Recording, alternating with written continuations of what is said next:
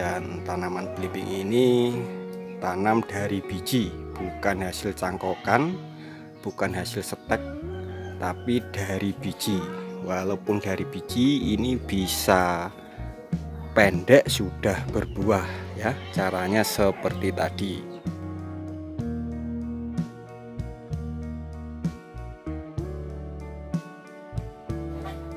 Halo selamat siang pemirsa di mana pun anda berada eh, saat ini saya mau mensepil tanaman belimbing saya ya. Ini di sebelahnya umbung ini saya menanam pohon belimbing ya. Ini pohonnya masih pendek sudah mulai berbuah ya. Ini. nah ini penampakan buahnya. Padahal eh, pohon ini saya tanam dari biji ya bukan bibit cangkok atau setek. Pohon ini saya tanam dari biji walaupun tanam dari biji ini pendek sudah berbuah ini. Ini buahnya lumayan banyak. Nampak ya? Biasanya kan kalau tanam dari biji itu cenderung pohonnya itu tinggi ya. Tapi ini pendek sudah bisa berbuah karena saya melakukan cara ini ya. ini akan saya sebutkan caranya agar tanaman dari biji pendek bisa berbuah nah ini adalah penampakan pohonnya. Ini bisa kita lihat.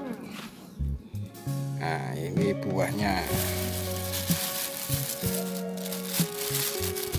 Ada beberapa karena ini baru belajar berbuah ya juga. Dan ini masih banyak bunganya yang muncul ya.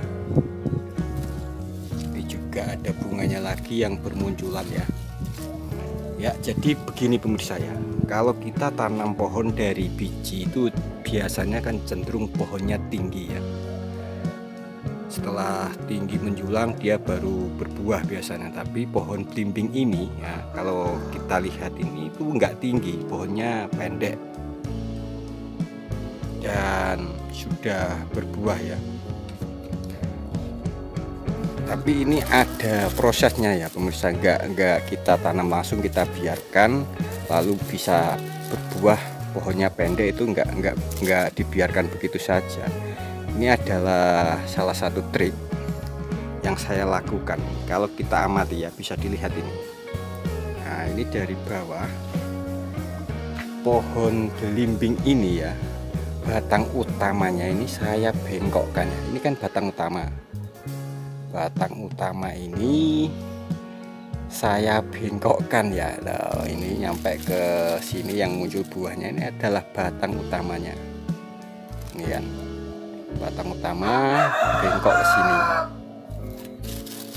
Nah waktu dulu saya bengkokkan itu waktu ini batangnya masih muda. Jadi kita masih bisa membengkokkannya karena dia masih lentur ya. Kita bengkokkan kita tarik pakai tali dan kita ikat ke bawah. Nah setelah nanti batangnya tua dia akan seperti ini mengeras. Posisinya tetap bengkok seperti ini ya. Dan pohonnya yang muncul cabang baru menjulang ke atas itu saya pruning terus. Saya potong saya pangkas yang cabang menjulang ke atas ya. Kalau cabang yang tubuhnya nyamping itu saya biarkan. Seperti ini saya biarkan. Ini juga nyamping saya biarkan ya. Yang menjulang tinggi ini ke atas saya potong dan dia akan muncul tunas lagi yang nanti mengarahnya ke samping ya untuk cabang yang mengarah ke samping ini kita biarkan ya. Kita biarkan kita potong yang menjulang ke atas saja. Ini juga ke samping ini kita biarkan. Hmm, bisa kita lihat batang utamanya itu ya. Oh, belok ke sini ya. Dan yang batang utama belok ke sini ini sudah pada memunculkan buah ini ya. Buah belimbingnya sudah nampak ini bisa dilihat sebetulnya ini sudah bisa dipanen ya pemirsa ya. Cuman kalau panennya nanti nunggu di Afrika karena kalau dia nggak diajak wah nanti bisa ngambek dia ya. Nanti panennya bersama di Afrika saja.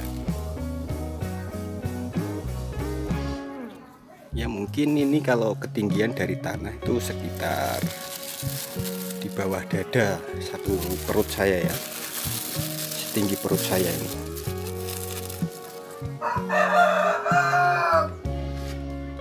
ini untuk pemupukannya sangat sederhana. Biasanya cuma saya kasih pupuk kandang saja ya. Tidak ada pupuk yang aneh-aneh. Dan pohonnya juga tidak terlalu besar karena masih baru belajar berbuah ini masih kecil.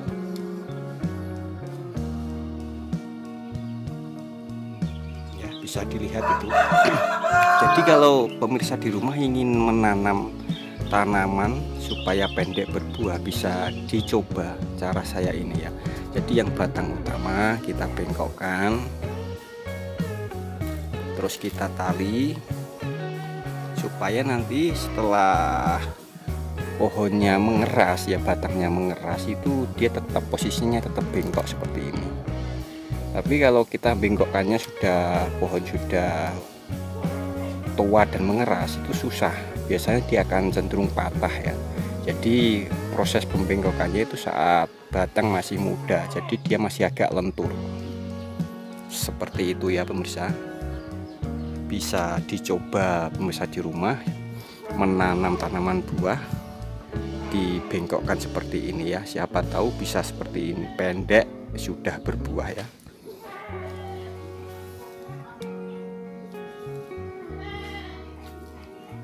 ini saya tanamnya tepat di sebelah kumbung jamur saya ya.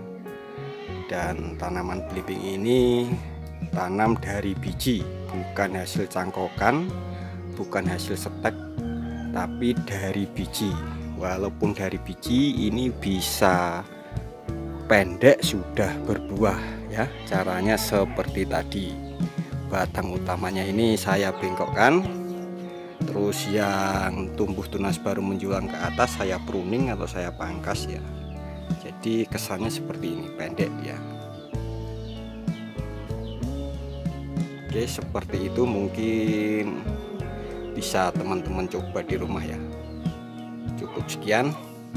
Ini nanti saya mau panen tapi panennya nanti nunggu di Afrika dulu ya. Kalau dia nggak diajak takutnya nanti ngambek ini sudah bisa dipanen ini sudah agak tua ini bimbingnya bisa kita lihat kita coba ya. Kita buka ini.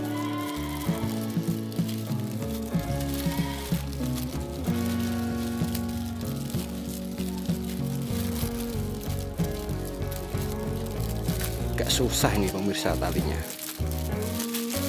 Nah seperti ini kita buka wow ya ini penampakan buahnya. Seperti ini.